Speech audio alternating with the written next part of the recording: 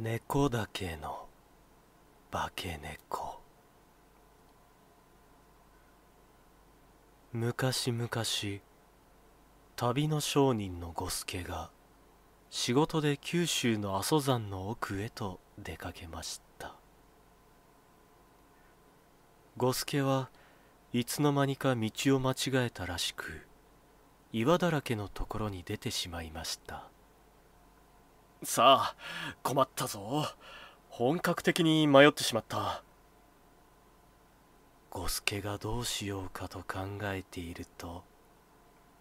にゃー。とどこからか猫の鳴き声が聞こえてきました。はってどうしてこんな山の中で猫の鳴き声が？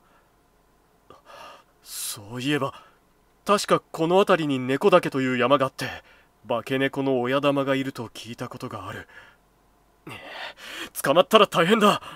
五助はその場を離れようと方向もわからないまま先を急ぎました。すると山の奥に家の明かりらしいものが見えました。ありがたい。あそこで止めてもらうとしよ明かりに近づくとそこには立派なお屋敷がありました。すみません。旅の者ですが今夜止めてもらえないでしょうか。五助が声をかけると中から美しい女が現れて「どうぞお上がりなさい」と座敷へ通してくれました。野宿をせずに済んだそれにしても立派な屋敷だな。五助が荷物を下ろして一息つくとさっきの美しい女が言いました。お風呂が沸いております。お風呂は廊下の突き当たりです。お風呂に入っている間にご飯の支度をしておきますね。ああ風呂とはありがたい。そこで五助がお風呂に行こうとすると廊下ですれ違った別の女がひどく驚いた顔で言いました「五助殿」名前を言われて五助もびっくりです。確かに五助ですがどこかでお会いしましたか？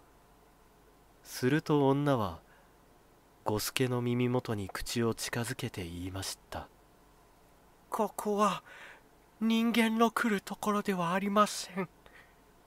早く逃げないと猫の姿にされてしまいます。は？あんたは誰だね？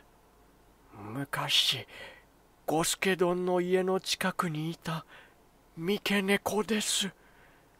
五助丼にはとても可愛がってもらいました。私は年を取ったので猫だけの化け猫の頭に仕えています。それを聞いて五助は三毛猫のことを思い出しました。そうか。お前さんはあの三毛猫か。急にいなくなったから心配していたんだ。そんなことよりも早くお逃げなさい。五助は三毛猫の女に裏口を教えてもらい命からがら逃げ出しました。するとやがて待て！とお湯の入った桶を手にした女たちが五助を追いかけてきました。女たちは次々と桶のお湯を五助にかけようとしました。バシャーお湯が少し足にかかりましたが五助は転げるように山を下ってようやく町へ逃げ帰りました。町の宿屋に入った五助がお湯のかかった足を調べるとその部分だけ猫の毛が生えていました。あの時もしも風呂に入っていたら俺は今頃猫にそれからというもの。五助は二度と猫だけには近づきませんでした。おしまい。